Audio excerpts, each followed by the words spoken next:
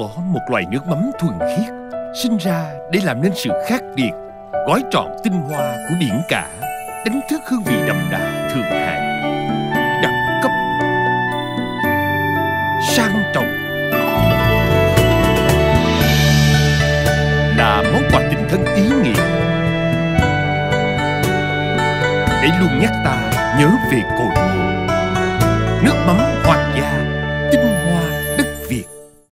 là một thành phần vô cùng quan trọng trong cơ thể con người, giúp duy trì sức khỏe của mỗi người và để thay đổi nguồn nước.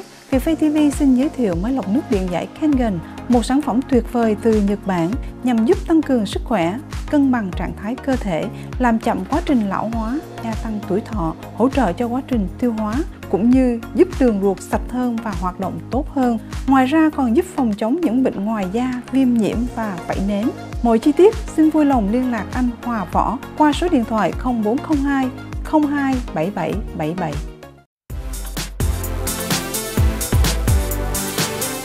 Chú Hoàng xin trân trọng kính chào tất cả quý khán giả đang theo dõi chương trình Điểm báo Úc Châu của chúng tôi ra ngày hôm nay thứ Bảy, 15 tây tháng 7 năm 2023.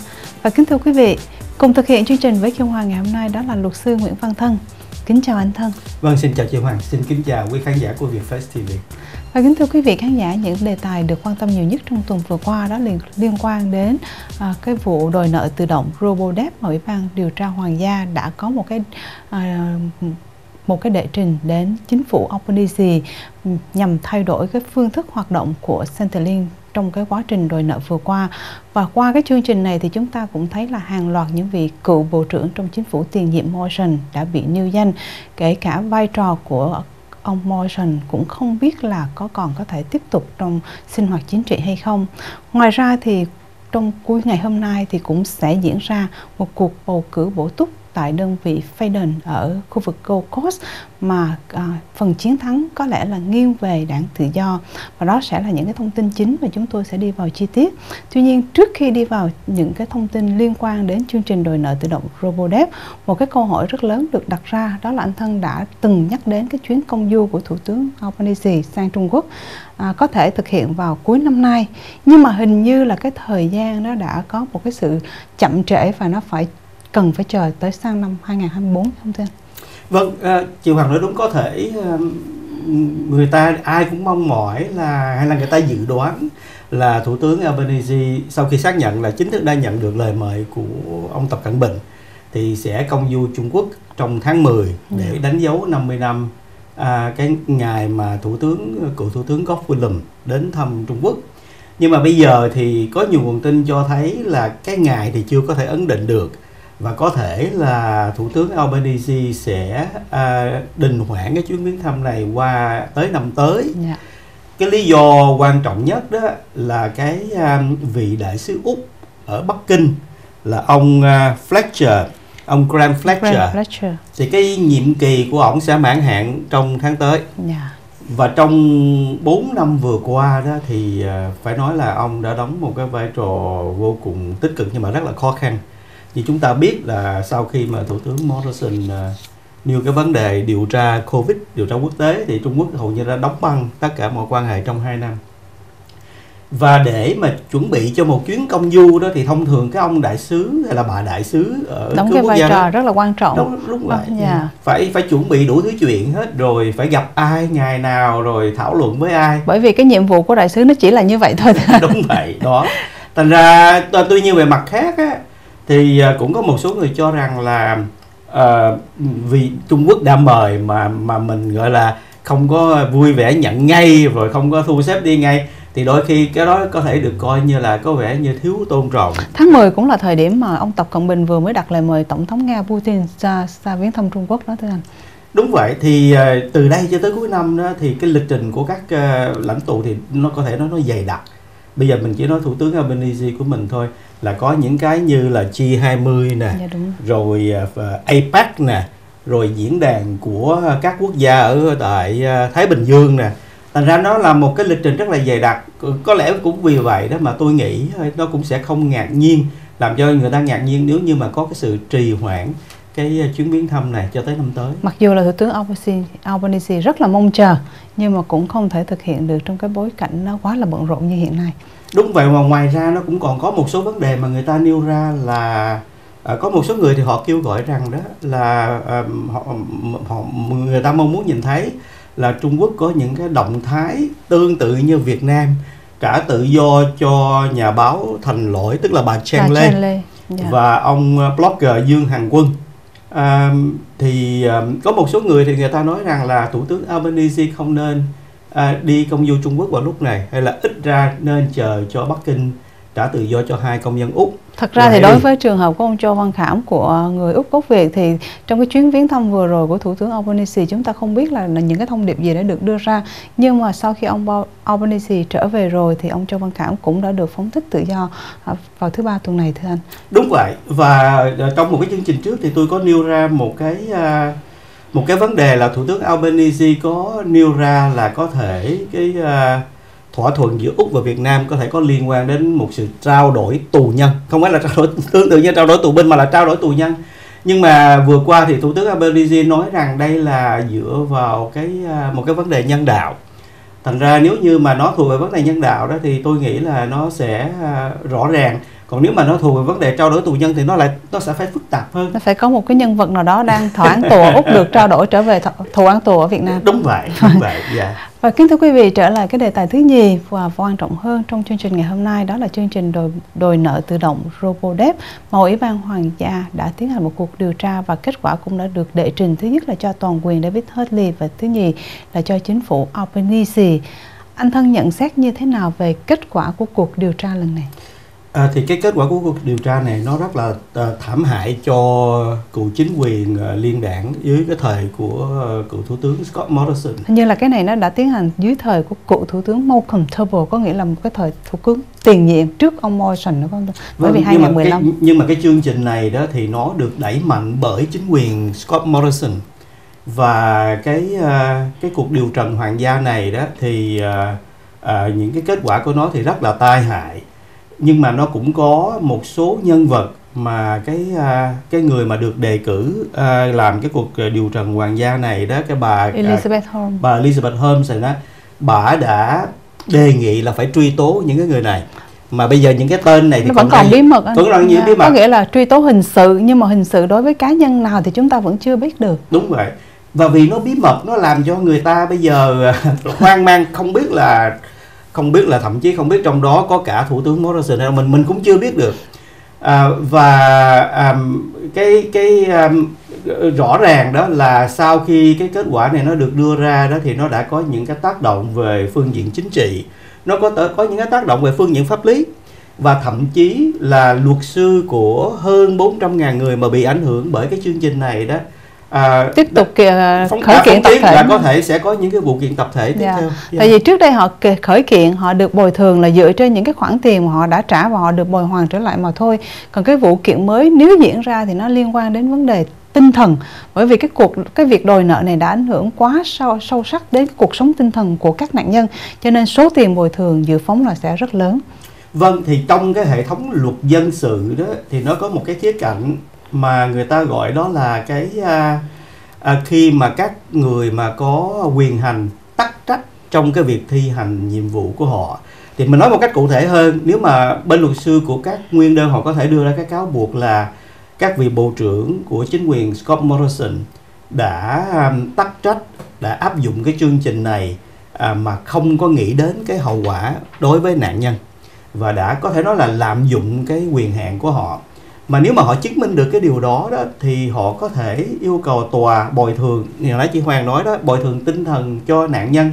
Thì tôi xin đơn cử một cái thí dụ đơn giản đó là như thế này. Ví dụ như đó khi mà à, khi mà có người mà bất cẩn làm cho người ta bị thương nặng hay là bị chết thì ngoài cái người mà bị thương đó đó à, bị chết thì ngoài cái việc mà phải bồi thường những cái tài sản cái số tiền mất mát mà nếu như người đó còn sống người ta còn đó thì thân nhân cũng bị sốc bị ờ, đau buồn đau khổ ảnh hưởng công hưởng về mặt tinh thần và tâm lý.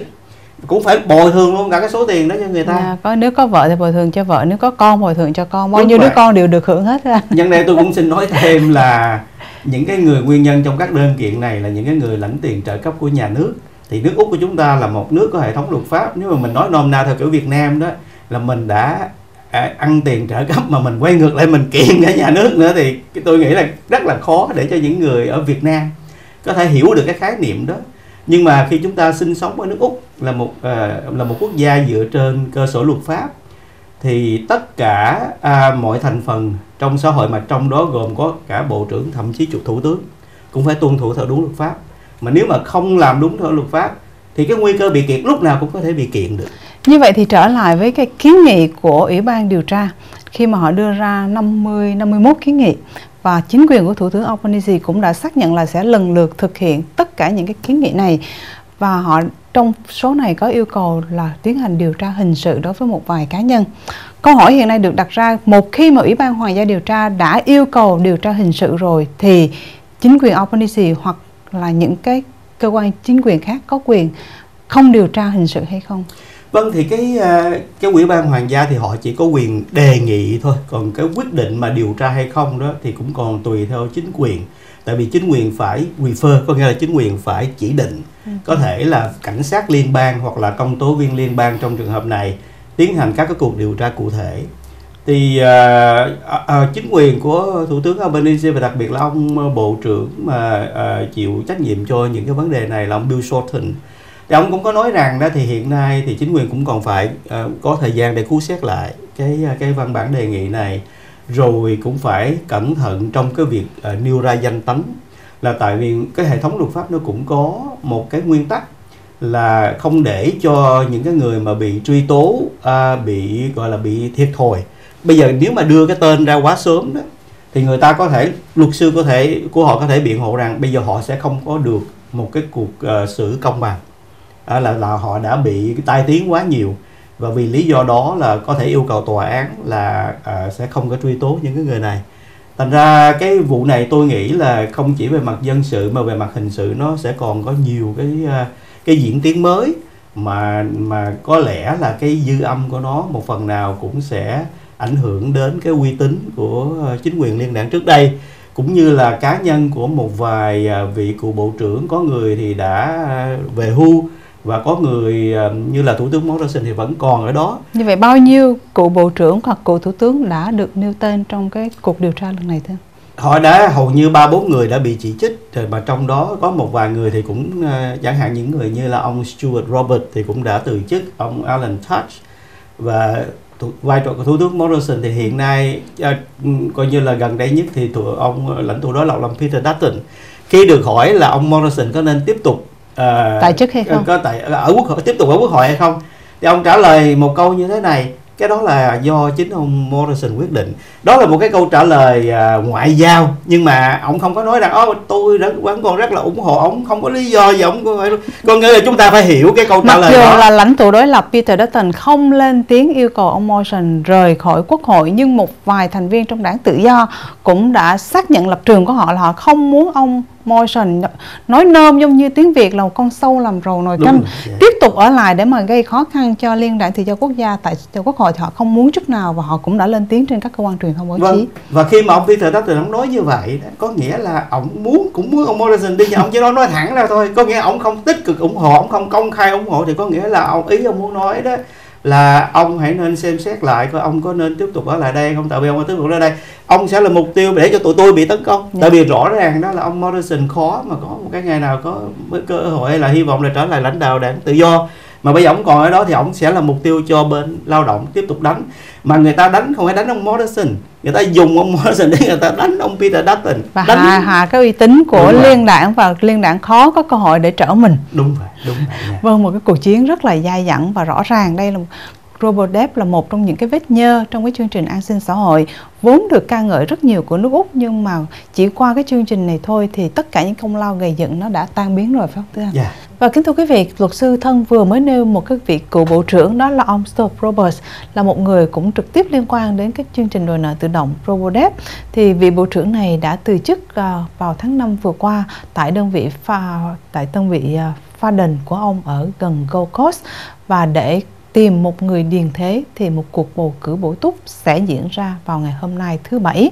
Hiện nay thì đảng lao động cũng không có nhiều hy vọng chiến thắng tại cái đơn vị này và ngay cả Thủ tướng Albanese cũng cho rằng là cái kỳ tích của ngày 24 tây tháng 4 vừa qua, khi mà đảng lao động đã chiến thắng trong cuộc bầu cử bổ túc tại đơn vị Aston ở tiểu bang Victoria, khó có thể lặp lại đối với đơn vị Faden là bởi vì cái tỷ lệ cử tri cho thấy vẫn còn tiếp tục ủng hộ Liên đảng Tự do Quốc gia ủng hộ cái chiếc ghế này. Anh thân dự phóng như thế nào trong cái cuộc bầu cử bổ túc này? Vâng thì à, cái ghế Faden nó là một cái ghế an toàn của à, Liên đảng Tự do Quốc gia cũng nên nói rõ thêm đó thì ở tiểu bang Queensland nó đã có cái sự sáp nhập giữa hai đảng có nghĩa là nó chỉ gia. có một viện thôi à? một đảng một thôi. đảng thôi chứ nó giữa một đảng này nó cho không còn là hai đảng dạ. ở New South Wales thì chúng ta hai đảng vẫn là tách dạ. biệt vẫn là riêng biệt cho nên nó gọi là đảng LNP phải không đúng vậy thành ra còn ở Queensland nó chỉ có một đảng là đảng à, nó là một đảng mà nó là gồm bao gồm của cả hai thành phần thì hiện nay cái ghế ở cái khu vực pha đình đó là nó là một cái ghế an toàn với tỷ lệ khoảng 10.5% nghiêng về phía bên uh, liên đảng bên đảng tự do quốc gia. À, tuy nhiên đó thì qua những cái con số thăm dò dân ý thì người ta thấy rằng có thể là bên uh, liên đảng bên đảng tự do quốc gia xin lỗi là có thể mất khoảng 3 tới 4 phần trăm. Thì nếu như mà cái câu chuyện nó là như vậy thì nó nếu mà nó rút xuống còn có khoảng 5 6 phần trăm thì nó trở thành một cái ghế bấp bênh.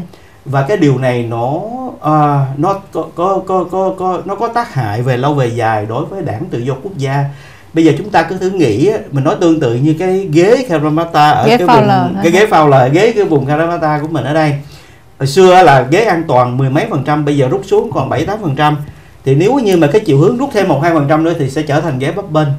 Mà mỗi khi là ghế bấp bênh đó thì cái đảng là muốn chiến thắng phải bỏ ra nhiều công sức để mà uh, tranh đấu để mà giữ nó.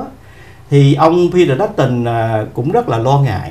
Là tại vì uh, thứ nhất á, Queensland là nơi nơi thủ phủ của ông thứ hai cái uh, tuy là uh, tuy là thông thường những cái cuộc bầu cử bổ túc theo nói theo một cách truyền thống á, thì cái số phiếu lúc nào nó cũng uh, đi xa chính quyền mà nó đi ngược về bên đối lập. Mà nói theo cách truyền thống thì nó là như vậy. Nhưng nếu như mà bên uh, bên đối lập đang là 10 chấm mấy phần trăm mà rút xuống còn 7 8 phần trăm thì những cái người mà à, dân biểu hay là thành viên của quốc hội ở trong cái à, điện đảng tự do quốc gia đó họ cảm thấy thất vọng. Họ sẽ cảm thấy thất vọng. Và họ sẽ cho rằng tương lai của họ có còn tiếp bê. tục với ông Peter Dutton hay không? Dạ vâng. Đó là một cái cái cái cái cái cái vấn đề mà đó. Cái nghĩa là cho dù là đảng lao động không thể chiến thắng trong cuộc bầu cử bổ túc ngày hôm nay, nhưng nếu cái tỷ lệ cho thấy là cái sự ủng hộ là dành cho Liên đảng Tự do Quốc gia nó giảm hạ xuống dưới mức 10% thì đó cũng là nguy cơ đối với cá nhân của lãnh tụ Peter Dutton. Đúng vậy thì mình nói một cái cũng công bằng cho Peter Dutton đấy thì ít có cái cái vị mà lãnh tụ đối lập nào mà mới lên á mà được uh, một cái uh, lá phiếu ủng hộ cao lắm. Nó mình nói theo coi như là theo truyền thống đó. Thì hồi xưa những cái người như uh, khi mà ông uh, ông uh, ông uh, ngay cả thậm chí ông Anthony Albanese cũng vậy. Khi ông mới lên đó, thì cái tỷ lệ ủng hộ nó cũng khi ở cái vị thế đối lập thì ông luôn luôn ông ở cách xa so với thủ tướng Scott Morrison thời đó tức là đúng vậy. Nhưng mà khi mà mình nhìn vào ông Peter Dutton á thì thẳng thắn mà nói ông Peter Dutton ông có một số cái uh, một cái, số cái, cái điểm trừ. Đúng vậy. Thứ nhất á, là cái, cái gương mặt của ổng á, nó không có thân thiện cho lắm. Và thẳng thắn mà nói là mình làm chính trị ở nước tây phương cái hình dáng và cái gương mặt nó vô cùng quan trọng. Nó nó không khác gì đi đóng phim. Anh thấy là ông ông Albanese không? Sau khi yeah. mà trong để mà ra tranh cử trong cái chiến dịch hồi tháng 5 vừa qua là ông đã thay đổi rất nhiều cái ngoại hình của ông. Từ cặp mắt kiến từ những cái trang phục từ áo vest, vân vân và vân vân, thành một người khác hoàn toàn. Mặc dù là nó không quan trọng, nhưng nó có một cái nhìn thiện cảm hơn đối với cử tri. Và ông cũng đã được ủng hộ khá là nhiều đối với cử tri trẻ nữa thôi. Đúng vậy. Thì ông Peter Dutton thì ông có mang một cái chứng bệnh, thành ra ông bị mất hết tóc. Rồi cái ờ, cái gương mặt của ông nhìn thì nó, ông ít cười, thành ra không có thân thiện. Và thậm chí có một kỳ cái bà Plibersek ở bên đảng lao động bà đã ví ông ông này như là Lord Voldemort. Là cái ông mà, cái ông mà ma quỷ ở trong cái phim ờ, trong cái phim Harry Potter mà có rất là nhiều giới trẻ ưa thích. Cái thứ hai đó là cái quan điểm của ông bắt ông Dutton đó thì thông thường nó không có à, nó không có tạo được một cái sự ủng hộ và thiện cảm đối với nhiều cử tri thuộc về giới trẻ và phụ nữ. Mà hai cái thành phần đó thì nó vô cùng quan trọng thành ra nếu như mà ông không có phục hồi được không có giữ được cái uh, sự ủng hộ cái sự tín nhiệm của cử tri đó thì chính cái vai trò uh, lãnh tụ đối lập của ông cũng sẽ bị lung lay. Có nghĩa là lãnh tụ Peter Dutton đã gặp từ khó khăn này đến khó khăn khác. Cái sự thất bại tại đơn vị Aston ở Victoria vào tháng 4 vừa qua cũng như là một cái đòn giáng rất là mạnh.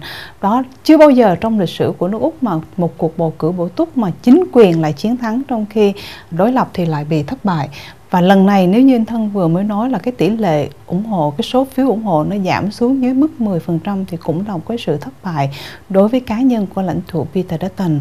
Và đó là cái sinh hoạt của um, chính sinh hoạt chính trị không những là tại tiểu bang Queensland mà là chính trị của Liên đảng Tự do Quốc gia ở thế đối lập hiện nay.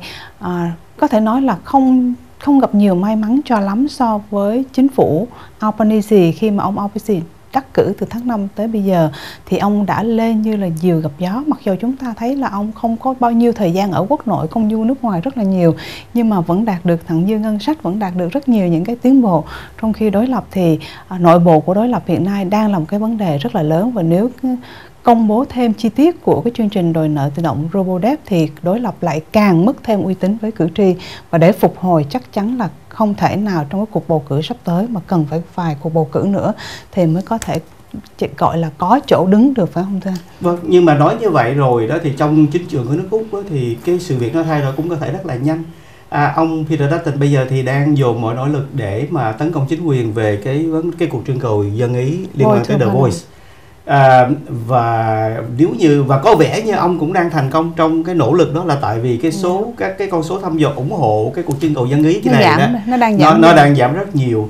Và ông kỳ vọng rằng nếu như mà cái cuộc trưng cầu dân ý này nó thất bại đó thì nó sẽ ảnh hưởng đến uy tín của thủ tướng Albanese. Mặt khác á, thì nó cũng có là có con dao hai lưỡi khi mà ông vận động mà mà uh, phản đối cái cuộc trưng cầu dân ý này một cách mà gọi là mạnh mẽ quá đó thì người ta lại lại càng tạo thêm cái ấn tượng à, cái ông này tối ngày ông chỉ phá thôi ông cái gì ông cũng nô hết à, ông không có gì đóng góp tích cực hết đó thì như vậy thì cái số phiếu ủng hộ cử nhân dành cho ông lại cũng không có thế nào tăng lên được thành ra à, đó là một cái à, một cái lằn ranh một cái chiến thuật cần phải yeah. rất là có một cái sự khéo léo đúng trong vậy. cái việc này thôi đúng yeah. vậy đúng vậy và thưa anh thân trước khi chúng ta kết thúc cái chương trình ngày hôm nay không biết là anh còn có những cái thông điệp gì muốn gửi đến cho khán giả hay không Vâng, thì uh, trước hết thì tôi xin uh, được uh, chúc mừng ông Châu Văn Khảm và cũng như chúc mừng gia đình của ông đã được trả tự do về tới nước Úc của chúng ta ở đây. Thì trong cái sự việc này đó thì chúng ta phải ghi nhận là chính quyền của Thủ tướng Albanese đã làm việc rất là tốt. Họ đã có những cái cuộc gọi là đàm phán uh, với nhà nước Việt Nam để đạt được một cái kết quả tốt đẹp này. Bên cạnh đó đó thì nó cũng có các cái cơ quan như là Amnesty International à, hàng chục ngàn thành viên của Amnesty International vận động rất mạnh. Bà Elaine Pearson là giám đốc của Human Rights Watch tổ chức theo dõi nhân quyền cũng đã vận động chính quyền rất là mạnh mẽ. Rồi nó còn có rất là nhiều người khác dân biểu là Đài, Lê, Lê. cũng đã đi, đi khi đi về Việt Nam đã vào tù thăm ông Châu Văn Khảm trấn an ông và à, à, ngoài ra đó thì cũng à, luật sư Nguyễn Đan Phượng cũng đã đóng một cái vai trò rất là tích cực à, luôn vận động cho gia đình ông à, ông gia, gia, bên ông Châu Văn Khảm cũng như làm việc với chính quyền. Thì tôi xin à, à, ghi nhận cái công lao đóng góp cũng như cảm ơn tất cả những người đó đã à, làm được một cái chuyện rất là tốt. À, và cũng xin lặp lại đó là chúng ta là người úc công dân úc. Thì lúc nào chúng ta phải tranh đấu cho quyền lợi của công dân úc và tuy là chúng ta vui mừng trước cái sự trả tự do của ông Châu Văn Khảm nhưng mà chúng ta vẫn phải tiếp tục tranh đấu cho cái uh, sự tự do của những nhà báo thành đôi là một người úc gốc hoa ông Dương Hằng Quân một người úc gốc hoa họ vẫn là họ là những công dân úc và họ bị uh, chính quyền cộng sản Trung Quốc bắt giữ và chúng ta cũng phải có trách nhiệm tranh đấu lên tiếng nói đòi hỏi chính quyền phải làm việc tích cực để uh, uh, giành lại tự do cho dạ, sớm trở về lại càng sớm càng tốt. Dạ. Rất cảm ơn những thông tin của anh Thân cho chương trình ngày hôm nay. Xin cảm ơn Triệu Hoàng, xin cảm ơn và kính chào quý khán giả của Vietfast TV. Kim Hoàng xin trân trọng kính chào và chúng tôi sẽ trở lại với tất cả quý khán giả trong những chương trình sắp tới.